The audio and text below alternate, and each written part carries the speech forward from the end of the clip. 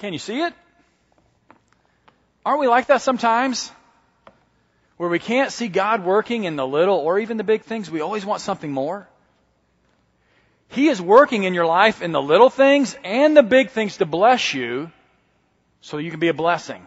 But you don't see it. There's no doubt we're blessed by the Lord. We are blessed in many ways, and yet sometimes we assume the blessings that we have are things we've earned, things that we deserve, things that we've done for ourselves. We expect certain things in this, in this culture we live in. In West Kankakee County, in, in north central Illinois, we expect to have nice homes, beautiful cars, good schools, winning football teams, right? We expect to even have better weather. We expect all these things, assuming that we deserve them. We naturally assume we deserve good health. We naturally uh, uh, assume we deserve safety and freedom. We think we deserve these things when really they're blessings of God's gracious gifts to us all. And we take them for granted.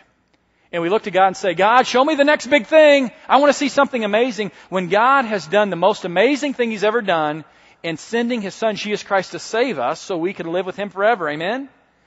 God, show us the next big thing. Can you see it? It's already here. We're so blessed, but we take it for granted.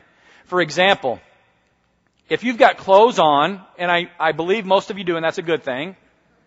If you've got clothes on your back, a roof over your head so you didn't get wet yesterday or last night or this morning, and you've got a nice place to sleep, and you've got some type of change somewhere in your house or your car, and any money in the bank at all, you are in the top 8% of the most blessed people in the world. Think about that. Clothes, a house, some spare change and money in the bank, even if it's one dollar, most of us qualify for that. We're in the top 8%. It's amazing. We're blessed. And yet we're like, God, show me something else. Because we're able to attend worship in a place like this where we're not threatened to death, we're not uh, persecuted at every turn, since we're here today, I want you to know you're more blessed than some 3 billion people in the world. Because there's 3 billion people, if they come to a place like this to celebrate Christ, they could die today or be put in prison. Aren't we blessed? 3 billion people have it worse than us in, in their ability to worship. Can you see it? Oftentimes we can't. That's why over the next four weeks we're going to start this sermon series. It's called Blessed to be a Blessing. And it's not only enough to realize we're blessed and then worship. You did a great job today. Worship was, was great. Uh, give Dustin a hand. In the midst of a sickness, he uh, continued for Christ. Let's praise God for that. But it's not enough to say, hey, we're blessed, we're going to worship you, we're going to celebrate you. It, God is calling us to be so blessed that we can't help be a blessing to others and in turn give Him glory time and time again. This is not my theory, this is from the Word of God. Turn with me to 2 Corinthians chapter 9 if you can grab a Bible underneath your chair, maybe you didn't bring one, it's going to be on page 807. And we're going to see this concept, and it's going to be the theme for the next four weeks, that we are blessed to bless others, and in turn, bring thanksgiving and glory to God. When we live such lives that we allow God's blessing in us to bring thanks to Him, we start to live His purpose in our lives. 2 Corinthians chapter 9, starting with verse 8, it says this. God is able to bless you abundantly. Isn't that so true? God has the ability to bless you abundantly. Not just enough where you survive, He can bless you with more than you can imagine. I do not live this way in every aspect of my life, but there are places where I've just been blessed abundantly with four boys, with a loving family, with, with a great church. God has blessed me abundantly, not always with necessarily health or, or uh, knowledge as far as educationally or wisdom, but He can do all those things, but we do we believe it? God is able to bless us abundantly, and let's see why. So that in all things, at all times, having all you need, you will abound in every good work. Here's the key point right here. God doesn't bless us abundantly so we can sit back and say, boy, I'm blessed. Man, do I have it good. God bless me. God says He blesses us in all things, in all ways, at all times, abundantly, so that we can be about His work, about His ministry, about doing His business. Look down to verse 12. Skip a few verses. We can go back to there later this month, but it says this. This service or this ministry or this work that you perform is not only supplying the needs of Lord's people, but also is also overflowing in many expressions of thanks to God. Here's the beautiful part. When we're blessed and we put it to work for God and we, are committed to His purpose and ministry, it in turn produces thanksgiving in His glory. Are you doing that? Can you see that? We need to live such blessed lives that we pour out an overflow of our abundance to bless others where people say, Praise God for that church. Praise God for that family. Praise God that I know that person, they've led me to Jesus. Do you live that type of blessed life? Or are you just getting by? God wants us to have life to the full. Uh, Bob Moss told us a long time ago this is this concept that Jesus came to give life to the fullest. It's called Zoe, an abundant life. And He wants to continue to give us this abundance so we're a blessing to others. First, excuse me, John chapter 1 verse 16. It's on the front of your program today. I chose to to share that with you from a, a, version most of you don't have in your hands from the NIRV, the New International Reader's Version. It, this version of the Bible is a, is a good version of the Bible, but it was written for like 8, 9, and 10 year olds so they can understand it. And sometimes that's right where I'm at. Because if you look at like uh, the ESV and, and the New American Standard and even the NIV, it talks about like grace on grace. It says God is able to pour out grace on grace. Here's the way the NIRV puts it. We have all received one blessing after another. God's grace is not limited. Some of the versions would say God pours out grace on grace, and the concept in the original Greek would be this He pours out grace on top of grace, on top of grace, on top of grace. And the point is, it's not limited, it's never ending. I want you to understand today God's grace is not limited. There is no limitation to God's grace. So no matter how destitute you are, no matter how depressed you are, no matter how void your life is, you can say, Tyson, I'm not in the top 8%. I'm really, I'm barely half. I don't, I don't have a house. It's got leaky roofs. I don't have any food. I'm destitute. God's grace is sufficient to meet your needs. You might say, Tyson, my life is so full of sin. I, I've sinned tremendously for the past 50 years. God's grace is not limited by that sin. God's grace can cover over that sin through Jesus Christ. It's grace on grace. The blessings of God we receive are His gift. And the Bible said, the passage I, let, I read at the beginning of worship says, we can't boast about it. We just can receive it freely. But sometimes in the American culture, we like to think this I've earned it. The things I have, I know what the Bible says, but the things I have, the money in my bank, the house I have, the clothes I have, the things you talked about to put me in the top 8%, it didn't come from God. I earned it. You're wrong. They are a gift from God. You're like, but Tyson, I've worked for it. I went to school. I've got a good job. I work hard at whatever I do. Yeah, but who gave you your life? Who gave you your health? Who provided you with the opportunity to have this blessing that you've worked hard for to be, become more blessed? It's God. It is from God. Do you see it? Everything in life is, that we have that's good is a blessing from above. James 1 says this Every good and perfect gift is from above. God wants your life to be blessed. He wants your life to be so blessed that you can bless others and then bring thanksgiving and glory to Him. So, how do you put your life in a position to be blessed? Some of you are asking that stuff. Tyson, this is the best sermon I've heard you preach in five years. Because a lot of times you're thinking, you talk about going through hardships and you talk about persecution. You talk about ne- buckling down and doing the right things even when it hurts. I like this idea of being blessed, right? Because if we ask the world, who is in favor of receiving a blessing from God, I would say 99% of you would raise your hands. I like being blessed. I like receiving gifts. God wants to do that. So how do you do it? This is a good sermon to pay attention to. The truth is, God wants to bless your life. But do you see it? It starts with Jesus. It's that simple. Point number one is this to receive a blessing from God, we must receive God's blessings through Christ. Some of you are struggling in life and you pursue blessings, you pursue good things, but you're doing them on their own and they're good for like five seconds to maybe five days or maybe a couple years, and then you're left empty and you're left wanting more if you pursue blessings in life, and they will come at times, sometimes they come from Satan himself, he'll entice us into feeling like we're blessed, and then all of a sudden we feel like we're at rock bottom because that's what he wants us to do. We need to understand that true blessings that will last for an eternity only come from Christ. Everything God does for you, through you, and with you and in you is because of Jesus. Not because you're a good girl or a good guy. It's because of Jesus in you.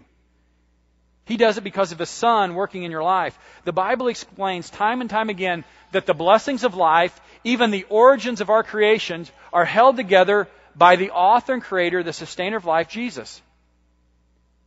He is supreme in all creation. Look at on the screen behind me in Ephesians chapter 1 verse 3 it says this, Praise be to the God and Father of our Lord Jesus Christ, who has blessed us in, in the heavenly realms with every spiritual blessing in Christ. Every spiritual blessing that you have that's a true blessing, that is a blessing that is eternal, is in Christ. You say, that's kind of hard for me to understand. That's what the Word of God says. That it's in Christ is when we'll truly be blessed. Have you received Him then? Have you accepted the source of eternal life, the source of all true spiritual blessings? Have you received Him as your Savior? I know some of you haven't. I don't know all your names. But I just know in a room like this, there's someone who said, I'm trying to get blessed in life. I'm trying to just make it through life and survive, and I think I can do it on my own. There's going to be a day where you realize that's not true. It may be the day you die, or it may be today. And you're like, you submit to God and say, I'm ready to follow Jesus and be blessed by Him. It's in Christ that we'll truly be blessed. Some of you are thinking, though, I'm ready for this, Tyson. It's time for me to be blessed. I've been struggling. Uh, it's struggle for me to have a roof over my head and, and food for my kids, and I don't have any of the money in the bank. I'm exactly what you're talking about. I'm struggling. I'm ready for a blessing. I'm just waiting on God to give it to me. I'm waiting on His time. Well, the wrong person's waiting. Because I'm convinced through Scripture that it's, it's not us that should be waiting on God. I believe God is waiting on us to receive Jesus. Because He's already provided the way. Look at Romans 5, chapter, chapter 5, verses 6, 7, and 8. We talk about timing. While I'm waiting on God for a blessing, God's greatest blessing is upon you. Will you receive it? It says this You see that at just the right time, when we were still powerless, Christ died for the ungodly. Very rarely will anyone die for a righteous person, though for a good person someone might possibly dare to die.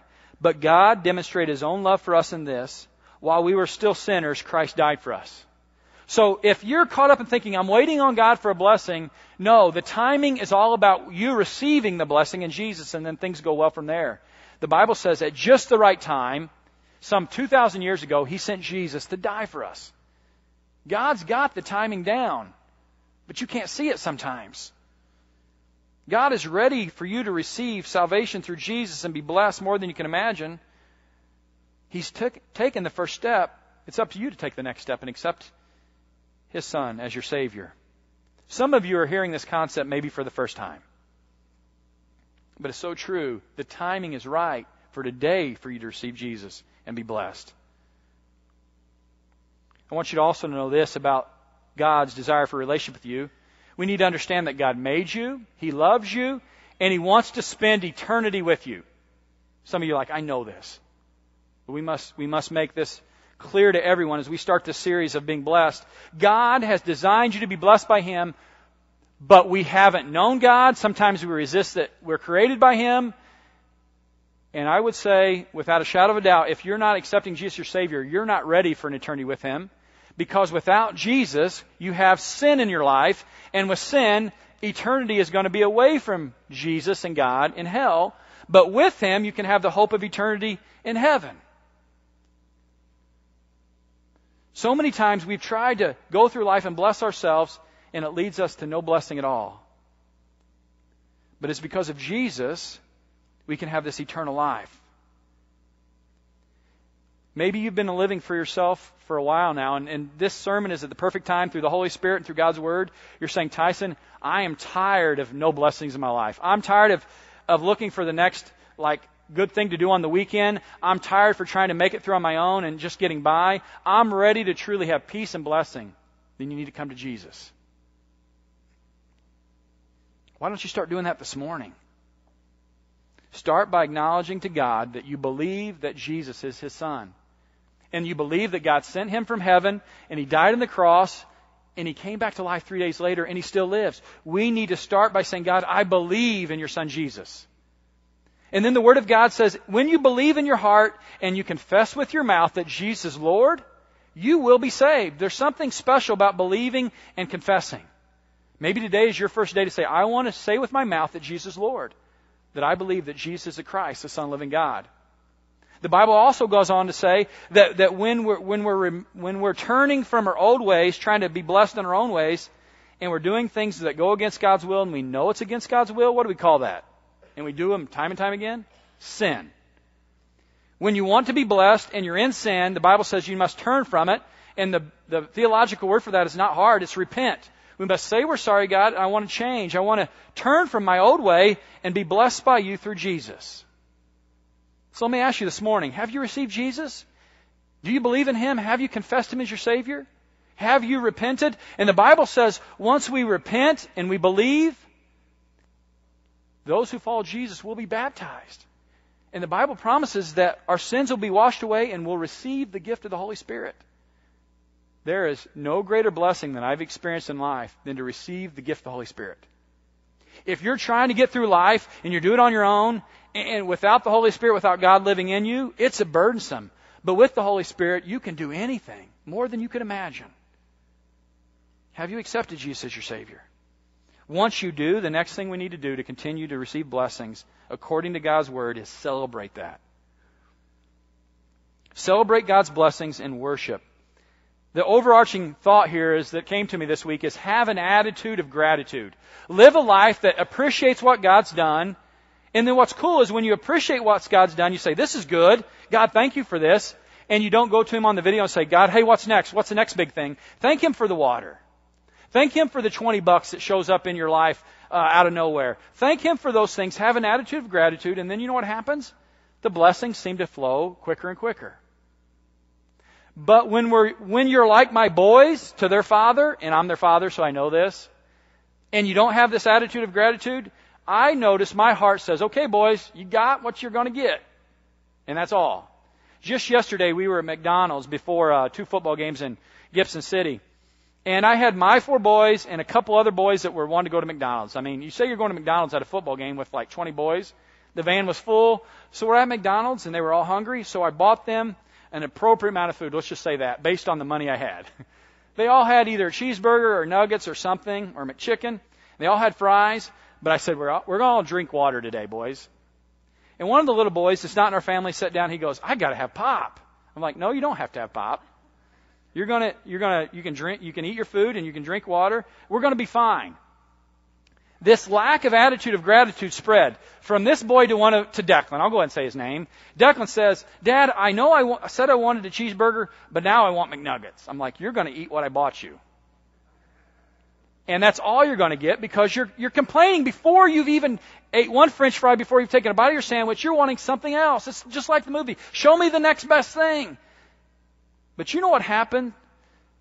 They all ate all their food. And I could tell they were still hungry. So without asking, I went and got more food. And as their father, I put that food be, be in front of them because they had used what I had offered them and they had changed their attitude. They were just enjoying life. And I, I know I'm not a perfect father, and this is not a perfect illustration, but I found much the same way. Whenever I'm content with what I have, and I'm using what I have, and I'm enjoying what I have, God pours on more blessings, doesn't He? But when we're like, oh, woe is me, my life just stays oftentimes in a rut. We need to be in a position to celebrate God's blessings. And the greatest blessing is this again. When you feel like, okay, you can't even afford McDonald's, and there's times like that. When, when you can't make it through the day because your health is failing, when your relationship with your spouse is so bad you don't know if you'll be able to talk when he gets home or she gets home from work, focus on this greatest blessing and it will take you back to a point of rejoicing. In Romans chapter 5 verse 11 it says this, We rejoice in God through our Lord Jesus Christ, through whom we have now received the reconciliation. Paul here, uh, other place in Scripture says, I say rejoice, and again I say rejoice. And, here he's saying rejoice in this main, this one main reason that in Christ, when we were once on our own and, and destined to hell, we have been reconciled to Him through Jesus, and that is why we rejoice. So in your worst of worst days, go back to this passage and be reminded that God has paid the price so you can live. And that should be enough to rejoice. Because I know things are tough. When Jesus died on the cross, he took care of our biggest problem. I came came up with this this week. You know how there's like three letter uh, three letter like uh, acronyms or whatever for just about everything anywhere anymore, and I'm way behind on this. Uh, I've just started texting like two years ago, and you guys know I like Facebook. If you're on Facebook, I use that for God, hopefully. Uh, but I, I didn't know even what LOL was like two years ago. I'm way behind the curve on this type of stuff. But I came up with this acronym, EDP. And it is this idea of eternal destination problem. And we all had it. You're, you have an eternal destination problem when you're living on your own, uh, uh, outside of God's will. Your eternal destination is headed towards hell. But in Christ, God took care of our EDP. Because now our destination is heaven bound because He loves us so much. And here's the concept that Paul wants. I want us to understand what Paul's talking about here. He says, if God was able to take care of your EDP, can't He also take care of every other problem that you have? If God can take care of your EDP and change your destination from hell to heaven, He can take care of your finances. He can take care of your, your, your relationships at home. He can take care of your cancer. He can take care of anything the world throws at Him because He's got that much power and He loves us that much. Can you see it though? Do you believe it? Here's the way Paul says it in Romans 8. Since God did not spare his own son, but gave him up for us all, how will he not also, along with him, graciously give us all things? Here's what Paul's saying. If God did not withhold his son to change your EDP, don't even doubt for a second that he can't change the other things you need. The scripture that we talked about today says he'll provide all things at all times in every way, in three ways, he says he can take care of it. Do we believe it though? And when he does, we need to rejoice and expect it to happen. The answer is yes, God can take care of our needs. So after we receive Christ and we celebrate Christ, his blessings, we need to continue to do the third thing expect God's blessings to continue by faith when you receive Christ and you worship Him, we need to continue to say, God, I believe you're going to continue to bless us so we can be a blessing for your glory. This church has been blessed so much. We've talked about it in recent leadership. Um, it wasn't that long ago that this church was uh, worshiping over in that little room over there, and we were in pews, and we were wondering if we'd ever see guests. And then when a guest would come, like a, a new person would come, like all 40 to 50 people would smother that person to the point where they're like, let me have some air, and then we'd never see them again. There were days like that. We, we were wondering, God, how are you going to bless us, bring more people to us? Because our mission was to share God's love with all people everywhere. He's been blessing us. Sometimes we ask when things get awkward or weird, is he going to continue to do it? Paul says absolutely yes, if you continue to put those blessings to work for him for his glory. Can you see it? Some of you may be thinking, Tyson, you're starting to sound like a health and wealth gospel preacher. No. I want to preach God's word because God wants you to be blessed so you can bless someone else that can't bless, that has no blessings, that has no one pointing them to God. In fact, I'll back this up and I'll stake this point on the words of Jesus. Jesus said in Matthew 9:29, "According to your faith, it will be done unto you." I think what Jesus is saying here in, in relation to the sermon is according to your expectations, according to your belief that He can do things, according to your trusting in the Father, will things be done to you. So here's the bottom line. If you don't think God will do something, He's probably not going to do it. Does that make sense?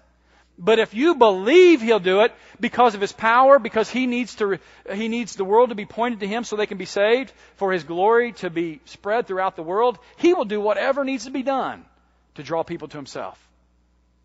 And a lot of times it's just by blessing us. Isn't that a cool thing?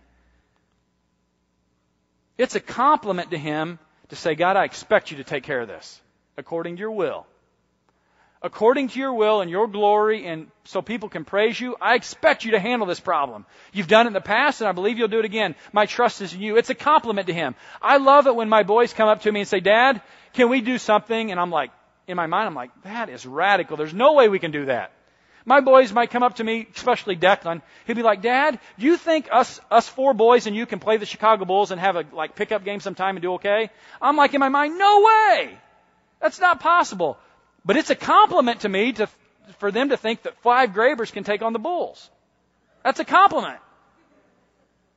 In much the same way, in, in a more extreme way than ever you can imagine, it is a compliment when God's children come to the Father and say, God, can we do this for, for the family? Can we do this for the church? Can we do this for the kingdom of God? And I don't care how radical it is. It may be the fact that this church, uh, over the next 10 years, plants a church every year throughout, throughout the world, through the, the blessings that God pours on us here. And, and, you know, God's like, man, that's a big vision. Can God handle that? Absolutely. I don't know how He's going to do it, but He can. We need to start having an expectation by faith that God's going to do amazing things when we have that type of attitude, when, when we've got this problem especially, let's say you're going through a real hard time, you're like, God, I'm in over my head, I don't know what I'm going to do, there's no way I can see a way out of this, but you've helped me before and you're going to help me again. I believe it. God loves that moment because in that moment we're saying, I trust you, God. I think in that moment God says, that a girl, that a boy, you're doing exactly what I need you to do. Trust me. Remember what 2 Corinthians chapter 9 said. It says this, God is able to bless you abundantly so that in all things at all times having all that you need, you will abound in every good work. All things all the time and all that you need. Not so you can sit back and say, man, we've arrived, but so we can be about His business and His glory. Do you expect that type of thing? Can you see that? Last night, uh, after the, we had two football games in Gibson City. And by the way, the Mighty Mites of Herscher have went undefeated this year. They finished their season. They're undefeated. Let's give a hand for the Mighty Mites. The team I coach is not so good, but they, I'm proud of them, okay? Um, and the seniors, I'm proud of you guys too. Good job this year. But after those two games, uh, we, we caught wind that Tiffany's uncle, Larry, was in a Champaign hospital, and he's suffering from a lot of things, from cancer, for the last 10 years, ever since I've known Uncle Larry, he has not been able to di- ingest anything through his mouth. Everything he takes into his body goes through a port in his stomach and from a bag. His cancer has totally ate up everything. He can hardly talk. And he's been in the hospital almost annually for pneumonia or from a relapse of cancer or uh, one time he had a severe spider bite and almost died. In the last 40 years, and I've not known Uncle Larry that long, of course, but he has struggled to say, to, to just keep his life. But last night when we were with his wife, uh, Tiffany's aunt, and the four boys, and, and, and Tiffany and I were in the, uh, in the, the room, he was putting on a good face and, and he was talking as much as he could. The boys struggled to understand it, but Tiffany and I can, we can understand if we really pay attention. And, and I prayed with him and, and for him. And at the end of the prayer, I prayed with the language that, Father, I expect Uncle Larry to once again recover. I know you can handle it. I, I know you've done it before, and I believe you'll do it again, Lord. If it's according to your will, I pray that Uncle Larry uh, recover. And we began to talk after that prayer, and Uncle Larry says, Absolutely. God's done it time and time again over the last 40 years. Why should we doubt him now? And he's really on his deathbed. I do not know what will happen to Uncle Larry in the next few days, but I believe God has the power to heal him again and again and again. Uncle Larry believes it. There will be a day when Uncle Larry, there'll be a day when I, when I pass, but it's really not a bad thing, and that's why Uncle Larry has so much peace, because he knows even if he dies, he gets to be with Jesus. But in the meantime, he's going to continue to be thankful to God for everything he has. Can you see that? Uncle Larry is expecting a miracle, and I don't even know what he's facing. I think it's pretty serious this time. Let me ask you, what are you expecting? You're not on your deathbed because you're here. What are you expecting God to do today, tomorrow, and through this next week? Just take the next week alone. Don't even think the next 10 years, the next, uh, until you die. What's, what are you expecting God to do in your life that's a blessing to you and others this week? The problem is, most of you aren't even thinking about it. You're like, I'm just going to go about my life this week. That's the problem. We need to be in a position where we expect God to do amazing things. We need to expect our family members who are sick to become well for God's glory. We need to expect God to bless us in a way we can bless others, whether it be with knowledge, wisdom, and occupation, or flat out finances. We need to expect God to put us in a position to do His ministry so people will say, Praise God that I know those people in that church because they have led me to Jesus. But as a church and as Christians, and I'll be the first to admit, sometimes I get up on Monday morning and I'm just like, I'm just going to go about my business today. I'm going to do the things I'm supposed to do when I should really be expecting God to do something amazing. Can you see it? Remember what Jesus said, according to your faith will be done unto you. When you study the Bible, especially the New Testament, one of the coolest things I found is when God does something amazing, especially when Jesus does a miracle, it's often and I would say almost always connected to someone believed. Think about that. When God does a miracle, and, and when you see in the life of Jesus, when He heals somebody, when He feeds someone, whenever He sets people free from demons, it is because there's some sense of belief, um, and, and belief is acknowledged. Even when you think of the man who was lowered down um, into the house, his friends believed that Jesus could do it, and that's why they lowered the man in the house. And because of that belief, I believe God worked. Are you believing that God can do amazing things? Are you trusting Him? Are you worried about trying to do it on your own? When you think of what Jesus said in the Sermon on the Mount, and you can study it this week, it, it, one, one place it appears is Luke chapter 12. Jesus says, Look at the birds of the air. He says, They don't worry about where they're going to get their food. They just kind of enjoy life. Andy, I think, has seen this already. Uh, or Daniel I know has a couple times. There's this cardinal that chirps on top of the cross of the old sanctuary like every other day for a few minutes a day. And he just chirps, chirps, chirps. He's the prettiest cardinal you've, you've seen in a long time. He is just enjoying life. And, and God would say, look at that bird. He, he's not worried about what's going on. He's just doing his business. He's just carrying, carrying on his life. He says, you are much more important than any bird in the air. Don't you understand I'm going to take care of you? What are you worried about? He says, Your Father knows the things you need. He says, Don't worry about them, trust me. And then he says these words at the end of that portion. He says, But seek God's kingdom first, and all these things that you need will be added to you. They'll be given to you. Every time you worry, though, and every time you say, God, I'm not sure, you're saying, God, I'm not, I don't believe you can handle this. I think I might need to worry about this myself. Every time we worry, saying, God, I, I don't trust you to handle this. We need to be in a position where we're, we trust God for His blessings and then we put them to work when He gives them to us. Can you see it? God wants to bless you and He's saying, will you trust me? Finally this morning, one major other key point in this cycle of blessing is once you receive in Jesus and once you celebrate in Jesus and once you continue to expect it to happen, you got to share it with others. The mission of this church is to share God's love with all people everywhere. If we just receive it and celebrate, it's not enough. We've got to share it when we receive Christ, we must, we must be ready to propel it to others. We can't just say, boy, doesn't it feel good to be blessed?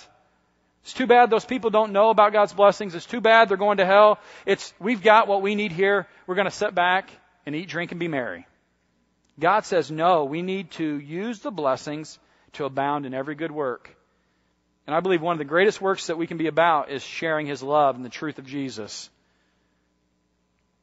Sometimes, though, we say, I don't really have all that I need yet. Tyson, I'm not in the top 8%. I'm not really that blessed. I'm a person that struggles to have a house.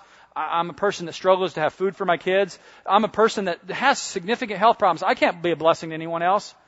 That's a lie. Probably, probably from Satan. God has put each of us in this room, I believe, in a position to bless others. Maybe not in the same way. Some of you cannot bless others financially, but you can bless others with your time and your caring. Some of you can't bless uh, anyone by changing a starter in their car, but you may be the person that can help them paint their living room. Each of us can be a blessing to someone else, and we don't have an excuse.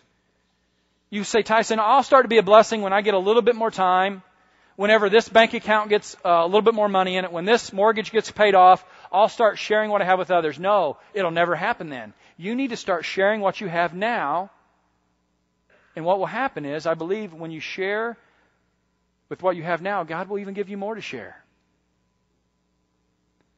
I know I found it works time and time again. Whenever I have something to offer someone else and I give it, God gives me something even greater in return almost, almost immediately. Just in this season of life, when Andy, our, our new intern, is here, and I'm trying to invest in him a little bit, he's been a blessing to us. Daniel has been here since January, our new youth pastor. He's been a blessing, but there are things I'm trying to share with Daniel. So I've, I've got two guys I'm kind of pouring into. Just recently, people have come into my life to pour into me that I didn't even pursue. My question for you is maybe ask yourself, who are you helping to grow? Because when you help someone grow, I believe God time and time again will help send someone in your life to help you grow. Just yesterday, I had a breakfast with a guy who's been in ministry for 20 years, and he gave me some great advice. And I stumbled upon that. It's kind of like the, it's kind of like that movie. Is that really stumbling upon? Was that just luck? No, I believe it's God's blessings. What will you do to continue to bless others? In Acts 20, 35, it says this. Jesus says, it is more blessed to give than to receive. If you truly want to be blessed, start sharing and giving the resources you have to bless someone else. You know, this is something I grew up hearing my mom say a lot of times at Christmas. She'd want me to get a present for my brother and sister and maybe someone else in the family. And I'll be like, you know, I'm not too interested in that. I think, you know, as a young man, you're like, or a young boy, you're like, Christmas is about receiving. And she say, uh, Christmas is, it's more blessed to give than receive. And we've heard that time and time again. That's just not for Christmas. That's for today. It's for tomorrow. It's for the entire week. It's for your entire life. Jesus says it is more blessed to give than receive. Can you see it? We're looking for the next best thing. The next best thing is to share what we have. But the cool part is, and I'm not going to be beat around the bush about it. When you share what you have, it becomes such a great blessing because God blesses you even more almost immediately. So you may be wondering, how can I be a blessing to people? Once again, Tyson, I, I'm really not that blessed. I don't know what I could do. Well, over the next three weeks, if you've wondered that question, I encourage you to come back because the next three weeks, we're going to talk about how we can be a blessing to other people. They're going to be in very different ways. But between now and next week, as we wrap up today, I want you to consider claiming one of these three questions. And the first one is this, and this will be your homework. Ask yourself, what am I good at that I could do to help someone else to bless them? What am I good at that I could do for someone else that will bless them? Not for profit, not so my name can be glorified, just so I can bless someone else. Maybe you're a mechanic and you can help uh, a single mom uh, change the oil in her car. Maybe you're a carpenter and you can help build some in someone's house. Maybe you are very wise in scriptures and you can help someone understand the scriptures. What can you do for someone else that'll be a blessing for them? And then do it. Whatever's come to your mind, if that's the question you can answer. I, I came across a guy in the church this about a month ago. He told me a story and I love it. He is a carpenter. So there's more than one carpenter. So you don't know exactly who this is. But he says once a month, he goes out and bids a job, and he does it with the, with the understanding that they're going to pay him a certain amount of money when it's done. Maybe it's $3,000, maybe it's 13000 After he does this job, and, and they're ready to submit the bill and do the final walkthrough and maybe give the final bill to the person, instead of giving them a bill, he gives them a paper once a month, somebody he picks, and he says, this project is paid in full once a month, this man in our church uses his ability to out of the blue bless, bless somebody that he's working with. Isn't that amazing? I was like, this is cool. I'm not going to tell you his name because you would all sign up for his, his work and then you'd be like, I want to be that guy. You might figure out how, who it is. But you know what? More than anything, I know I don't have to say his name because God is going to bless him. And he told me that story to say, the more I've been doing that, the more God has been blessing me. It's pretty amazing. What can you do for someone else to be a blessing to them? Maybe that's not one you want to answer, but maybe this is a better question for you. What do I know that I could pass on to some other person to be a blessing to them because of my experience or my knowledge? So this is a different one. What do I know that I could share with someone to bless them? For you uh, ladies who have already uh, raised your children and you've been excellent homemakers for the last 30 years, I strongly suggest, for the blessings of the entire church, to share your knowledge with the younger women who have children. Share the things you know with the, with the ladies that, that are learning about how to be a godly mom and how to balance a budget and, and make uh, simple as this how to, how, how to string along the, the budget for food to feed your family. Guys, Take time to take a young man under your wing if you've been married for a few years and tell them things not to do in marriage to stay blessed in their marriage, okay? Sometimes, guys, the greatest thing we can do is say, man, you shouldn't have done that. Never do that again. Let them know that. But ask yourself, is there something I know that I can share with someone else? Can I mentor them for God's glory? Or maybe this is a question you can answer. What do I have that I could give someone or at least loan to them that they need to bless them? Most of you maybe have something you couldn't give away, but maybe you could loan to someone. Maybe you need to be in relationships, and I'm so thankful for this. How many times Tiffany received something from one of you in your family to help her through, get through that moment? Maybe it's making applesauce and, and she needs this one device. Maybe, uh, just last week I was blessed with a, a bow and arrow set so I could go hunting with my son. I couldn't go out and buy a bow. I just bought one for my son. And somebody out of the blue gives me a bow and arrow set. Now I'm blessed. I'm so thankful for some of you guys who have given me tools to help me get through projects. Time and time again, I can go to this one guy and say, Hey, can I borrow this? He's like, Sure, I got that. And he'll have three of them. And, and I just need that one thing to get through the project. With that said, if I have anything I borrowed from you, please let me know. I want to give it back. so that next time I need something, I'll be in a position where I can borrow that thing. And if you know that I have something that you need to borrow, please ask me. I'd be happy to loan it to you. What do you have that someone else could be blessed by? I hope you can answer one of those three questions. But here's the last question as we close today that I know all of you can answer. Who do I know that needs to know Jesus? I think if you do those other three things, they're going to be more apt to listen to you about Jesus. But when, when the rubber hits the road is, we do all these things. God bless us in all things in every way all the time so we can point people to Jesus so they can praise Him for what He's done in salvation. Who do you know that needs Jesus? You'd be like, Tyson, the people I know that needs Jesus aren't interested in Jesus. Do you really know that? Or are you just assuming that? Because it goes back to the video. The, the next best thing that you could ever be a part of is leading someone to salvation through Jesus so they can be with Him forever. That's the next greatest thing that could ever happen. You say, Tyson, they're not interested at all. I, I don't know if I buy that or not. Because if they really knew what Jesus did, that he died on the cross for them, wouldn't they want to know that? Think about it.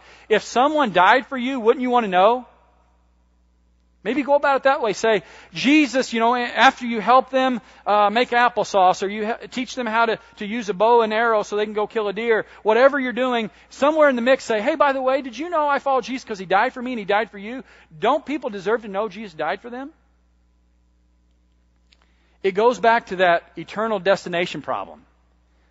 Maybe you know a hypochondriac that doesn't know Jesus. You can say, I'm really concerned you have an EDP. And they're like, what's that? You can say, you have an eternal destination problem, and God has the answer. His name's Jesus. Can you see it? God has blessed us in so many ways, but we assume it's our right.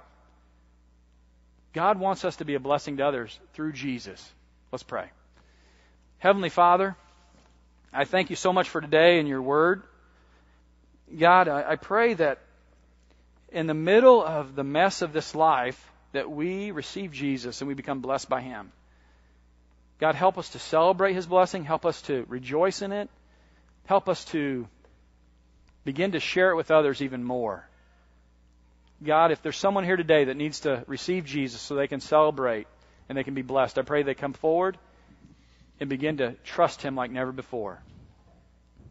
God, if someone just needs to do that right where they're at, I pray that they make that decision and begin to pursue you. And I pray you I pray that you would let them see your blessings that, that come after that. Lord, we know in this earth we're going to have trouble. But you've promised you're greater than the trouble of this world, and we thank you for that. In your son's name, I pray. Amen.